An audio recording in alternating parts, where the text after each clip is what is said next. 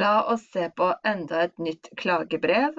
Eh, nå nærmer jo norskprøvene seg, og folk sender inn hele tiden forslag på oppgaveformuleringer. Så dette her er da noe en eh, abonnent har skrevet til meg. Vedkommende ønsker at jeg skal skrive da denne oppgaven. Eh, skol, skolen barnet ditt går i har kansellert campingturen i år pga. dårlig økonomi. Skriv et brev til rektor og forklar at du er uenig i denne avgjørelsen. Argumenter for dine synspunkter. Jeg tenker at et lignende klagebrev eller oppgave vil være mer eller mindre slik. Så som vanlig så har jeg gitt dere noen setningsstartere for hvordan du kan starte dette brevet. Og med, du kan jo gjøre det ved å si 'nylig hørte jeg at'. Du kan også si at i klassens ukebrev sto det at. På foreldremøtet ble det sagt at. Eller, og du kan også si at denne beskjeden er veldig trist, som setning nummer to. Eh, og forklare at de fleste foreldre på trinnet, og jeg er uenige. Trinnet er ikke bare klassen, men f.eks. hvis din sønn eller ditt barn går i første klasse, da er liksom 1A, 1B, 1C, fordi vi får da flere grupper. Da er liksom hele alle de klassene til sammen, da er det ett trinn. Så første klasse, alle barna, det er da ett trinn. Og da kan du bruke det begrepet hvis det ikke gjelder bare klassen, men alle klassene det, på det trinnet. Mine argumenter er at uh, en lignende campingtur styrker uh, barnas relasjoner og at eh, friluftsliv er en viktig del av pensum, og ikke minst en del av barnas utvikling. Og at de trenger fysisk aktivitet, spesielt nå som alt er så digitalisert, og kanskje også etter pandemien, ikke sant. At uh, barna ble så passive i den perioden, og nettopp derfor bør vi fokusere. Så jeg har lyst til å presisere enda mer med denne setningen her. Eh, det er lurt å komme med et forslag i et lignende klagebrev. Og da tenker jeg at det kanskje hvis foreldre arrangerer loddsalg, eller at vi eh, baker kake og selger det, eller noe sånt noe, så for å, for å samle inn litt penger, eh, så kan det, det kan være en løsning. Så avslutningsvis så sier vi bare jeg håper dere innser, altså at dere forstår, og innse er et bedre ord for å forstå og skjønne. Og jeg håper dere endrer eller forandrer denne avgjørelsen, og at jeg venter spent på en tilbakemelding. Og det kan du alltid skrive hvis det er rom for å få svar tilbake på klagebrevet ditt eller e-posten din. Jeg har ikke skrevet dette her, så jeg kommer nok til å ta det live igjen. Og så kommer dere til å se at det faktisk skriving er ikke bare bare, og at til og med jeg som har undervist dette her i mange år, sliter i perioder. Men da kan dere være vitne på det. Vi trenger en overskrift når vi skriver en e ikke en e-post, men et klagebrev. Og da sier vi f.eks. til rektor ved Arnestad barneskole. Og da har vi da en fin innledning. Hvem av dem vil vi bruke? Jeg liker liksom I klassens ukebrev sto det at. Jeg liker det. Vi pleier å få ukebrev. Eh, altså barna mine pleier å få ukebrev da, og jeg leser det. Så i klassens ukebrev sto det at årets campingtur for hele trinnet er kansellert pga. dårlig økonomi. Hmm. So far so good. Det mangler en A av dårlig økonomi. Så hva hadde jeg skrevet her? Jeg skrev at denne beskjeden er veldig trist. Ja, det er det. Det er SK. Denne beskjeden er veldig trist og mange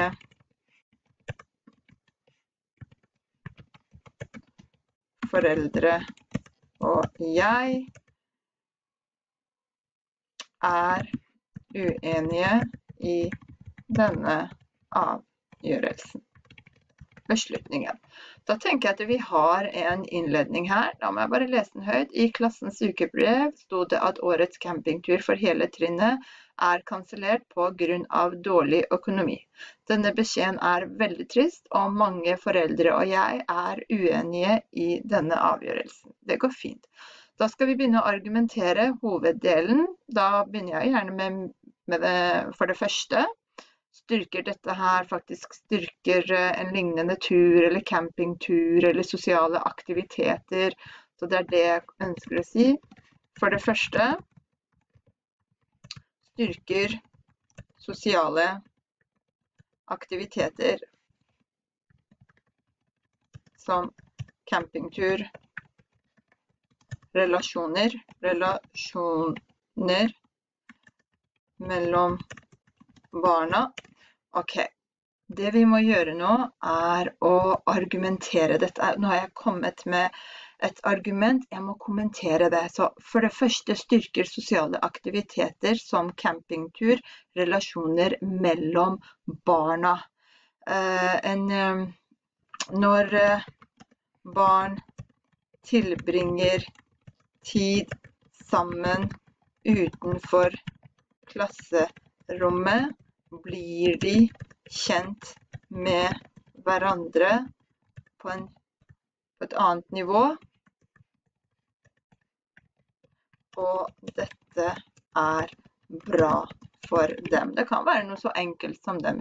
Når barna tilbringer tid sammen utenfor klasserommet, der har vi en leddsetning. Alltid komma da, første kommaregel. Blir de kjent med hverandre på et annet nivå, og dette er bra for dem. Det kan faktisk føre til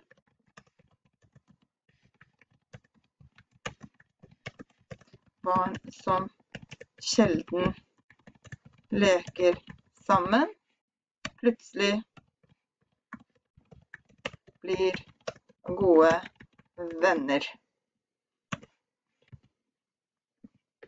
Ja. Disse turene kan Disse turene, aktivitetene, kan uh, redusere mobbing blant barna. Nå ble det veldig mye, men jeg vil jo bare fremme forslag hele tiden. Dere skal ikke skrive så mye, det står liksom 80 ord eller mer.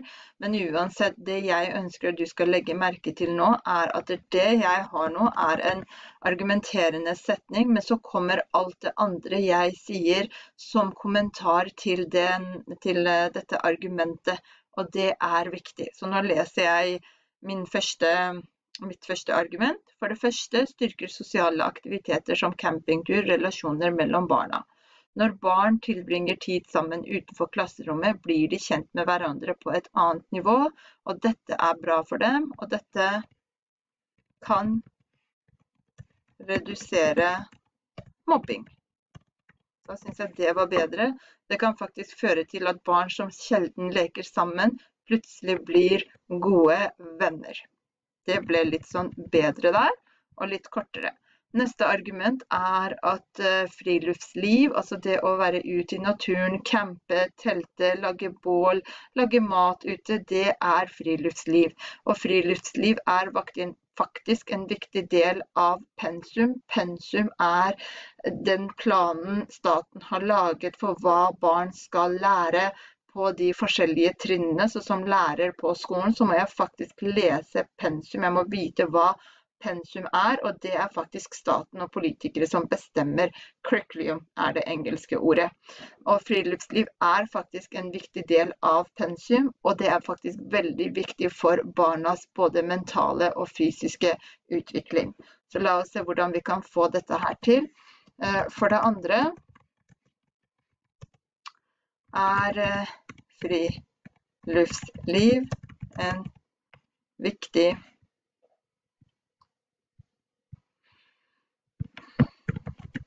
del av pensum i den norske skolen. Derfor er det viktig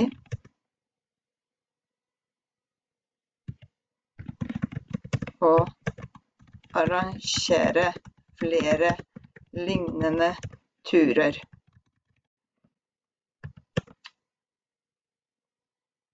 Å være aktiv i naturen er også en Jeg har skrevet viktig, viktig, jeg må finne litt bedre adjektiv. Er også en uh, Vi prøver oss med viktig igjen, så får vi se hva vi gjør. Så å være aktiv i naturen er også en viktig del av barnas fysiske og psykiske utvikling. Nettopp derfor må vi legge til rette for at de ofte er ute og driver med diverse aktiviteter. Mm -hmm. For det andre er friluftsliv en viktig del av pensum i den norske skolen. Derfor er det viktig å arrangere flere lignende turer. Å være aktiv i naturen er en viktig del av barnas fysiske og psykiske utvikling. Nettopp derfor må man legge til rette for at de ofte er ute og driver med diverse aktiviteter. Neste argument er at de trenger fysisk aktivitet. Dessuten trenger de mer enn aldri. Dessuten trenger de å være fysisk aktive Dessuten trenger de å være fysisk aktive også når de er på skolen. Og en campingtur fører nettopp fører til fører eh, Og en campingtur fører til at barna tilbringer mange timer sammen ute i fantastisk natur. Dette må vi ikke ta fra barna. Spesielt nå som barna våre lever et meget digitalisert liv. For det gjør de, stakkars barna. De har en iPad eh, nesten med en gang de blir eh, født, eller nå setter jeg ting på spissen, men Uh, og jeg, jeg, har også sett barn, og inkludert mine, jeg er ikke noe bedre sjøl, men jeg har sett barn som tar en bok, og så gjør de heller sånn, for det er det de tror de skal gjøre. Eh, med en bok, og ikke bla i den, faktisk. Så alt har blitt på en måte digitalisert med å trykke på skjermer og knapper osv. Så, videre. så det er også en fin argument å ha med. Nå ble dette her ganske lang, et ganske lang klagebrev, og dere skal ikke skrive så mye. Men jeg skriver dette her. Jeg vil vise hvordan man skal tenke. Jeg vil fremme forslag. Jeg vil ved å skrive lengre setninger gi dere noen eh, ideer. Men viktigst av alt er nettopp det at kom med et argument og så må du kommentere det. Vi gjør det i hverdagslivet vårt hele tiden. ikke sant? Hvis sønnen min spør kan vi lage pizza på en mandag, så sier jeg nei, eh, det kan jeg ikke. Det er liksom svaret mitt. Men så kommenterer jeg det. For det første så har jeg ikke tid i dag. For det andre mangler jeg ingrediensene. Eh, dessuten er det bare mandag. La oss heller fokusere på noe sunnere og ta pizza på fredag. Ser dere? Så vi driver hele tiden og kommenterer også i hverdagslivet vårt. Og det må du også gjøre i teksten. Og jeg håper at du ser nå hva jeg mener med at vi har en argumenterende setning, men det er ikke nok. Utdyp det. Kommenter det. Det gjelder både i klagebrev, men ikke så mange kommentarer der nødvendigvis, for det skal være en kortere oppgave. Men gjør det spesielt når du skriver da en eh, argumenterende tekst. Så går vi mot avslutningen, og da har jeg sagt at jeg vil jo gjerne komme med et fore, eh, forslag Så da sier jeg at eh, jeg synes det er eh, bedre at foreldre hjelper til, enten med å bidra litt penger, de bidrar ekstra penger, eller sette i gang en, et, et, salg, et loddsalg, slik at barna får gjennomført. Jeg synes det er bedre at foreldre hjelper til, eh, enten med å hjelper til enten med å bidra ekstra penger, eller sette i gang et loddsalg fremfor,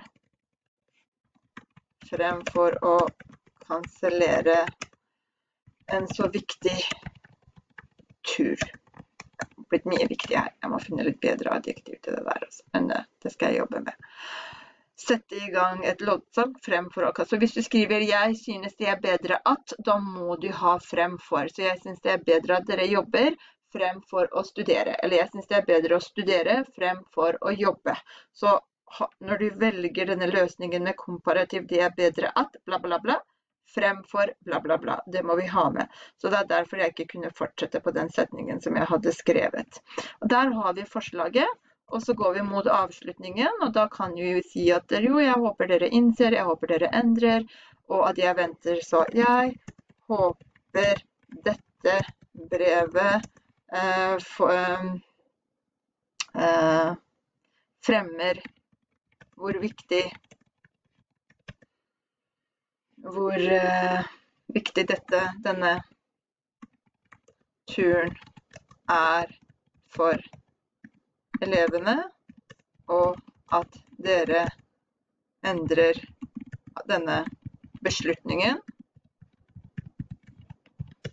Vi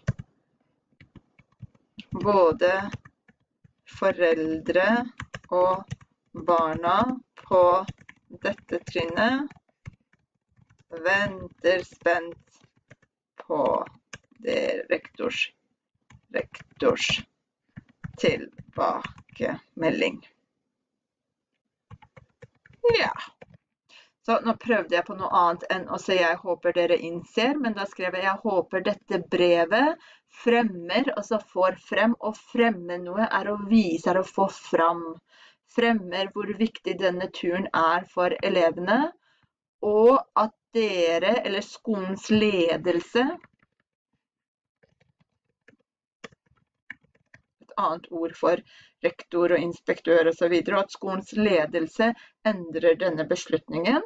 Både foreldre og barna på dette trinnet venter spent på rektors, vi trenger genetiv, tilbakemelding. Med vennlig hilsen Kari Olsen. Ja. Ok, så la oss se på dette lange klagebrevet. Det var ikke meningen at det skulle bli så lang, men du trenger ikke skrive så langt heller. Men ta med deg det du klarer, og kanskje gjør det til ditt og skap Eh, noe som representerer deg. Uansett. I klassens ukebrev sto det at årets campingtur for hele trinnet er kansellert. Jeg kan ta vekk hele trinnet her, nettopp for å gjøre det litt kortere. Så i klassens ukebrev sto det at årets campingtur er kansellert pga. dårlig økonomi. Denne beskjeden er veldig trist, og mange foreldre og jeg er uenige i denne avgjørelsen. Første argument. For det første styrker sosiale aktiviteter som campingtur relasjoner mellom barna. Når barn tilbringer tid sammen utenfor klasserommet, blir de kjent med hverandre på et annet nivå, og dette kan redusere mobbing. Det kan faktisk føre til at barn som sjelden leker sammen, sjelden betyr ikke så ofte, plutselig, der må vi ha en komma, plutselig blir gode venner. Andre argument. For det andre er friluftsliv en viktig del av pensum i den norske skolen. Vi kan ta vekk i den norske skolen, for det er jo den norske skolen de går på. Så litt sånn, hvorfor ikke? Og da blir det kanskje litt mindre og litt lettere å lese. Derfor er det viktig å arrangere flere lignende, flere, eh, lignende slike turer. Å være aktiv i naturen er også en viktig del av barnas fysiske og psykiske utvikling. Nettopp derfor må man legge til rette for at de ofte er ute og driver med diverse forskjellige aktiviteter. Tredje argument, dessuten trenger de, trenger barn, vi kan jo også bruke det, Her har jeg skrevet barn, barn. Ja. Dessuten trenger de å være fysisk aktive også når de er på skolen, og en campingtur fører til at barna tilbringer mange timer sammen ute i fantastisk natur. Dette må ikke tas fra dem. Dette må ikke tas fra dem. Eller dette må vi ikke ta fra dem. Dette må ikke tas fra dem. Spesielt nå som barna våre lever et meget digitalisert liv. Det er det de gjør. De sitter mange timer foran skjermen. Og du kan si spesielt nå som barna våre tilbringer flere timer foran skjermen. Spesielt nå som barna våre eh, er helt avhengige av uh, digitale utstyr både i fritiden og på skolen. Så det er en del ting å velge mellom her. Så kommer vi til forslaget. Jeg synes det er bedre at foreldre hjelper til, enten med å bidra ekstra penger, eller sette i gang, det vil si starte, et loddsalg. Så det er salget, og loddsalg er da et ord, fremfor, i stedet for å kansellere en så viktig tur. Jeg håper dette brevet fremmer, får fram, hvor viktig denne turen er for elevene, og at skolens ledelse endrer denne beslutningen. Både foreldre og barna på dette trinnet venter spent på rektors tilbakemelding. Så dere, jeg håper at det er en del ting her vi kan ta med oss. Bare legg merke til en del ting. Her er det mange sammensatte ord. Ukebrev er et ord, fordi det, det viser til én ting, og campingtur må bli skrevet sammensatt og at eh, så ser vi på at jeg har noen leddsetninger. Når barna tilbringer tid sammen utenfor klasserommet, ikke sant? Komma, blir de kjent med hverandre på et annet nivå. Og dette kan redusere mobbing. Det er fullt lov å ha en så lang setning, fordi jeg har full kontroll på det. Første setningen er en leddsetning, så kommer resten av helsetningen, og så setter jeg på en helsetning igjen med og. Det er lov å ha så lange setninger, men ikke lenger, men du må ha kontroll på det og vite hva det er du driver med. Det kan faktisk føre til, verbet å føre til er veldig viktig når vi skriver, eller resultere i. Føre til, resultere i. At barn som sjelden leker sammen, plutselig suddenly blir gode venner. Dessuten trenger de å være fysisk aktive når de er på skolen, og en campingtur fører til. Så da har vi med det her også, men et ord jeg vil at du skal legge merke til i dette avsnittet er å arrangere. Og så må vi ikke glemme pensum, som da er viktig fagord og ikke minst barnas fysiske og psykiske utvikling eller helse kan vi bruke her. Jeg skrev at jeg håper dette, håper dette brevet fremmer hvor viktig denne turen er, istedenfor å skrive 'jeg håper dere innser', som jeg har gjort i de andre klagebrevene. Så ja, jeg skal ikke bruke mer av deres tid. Jeg håper at uh, dette klagebrevet har også vært nyttig, og at dere har lært noe i dag også. Ønsker hver og en av dere en strålende dag videre.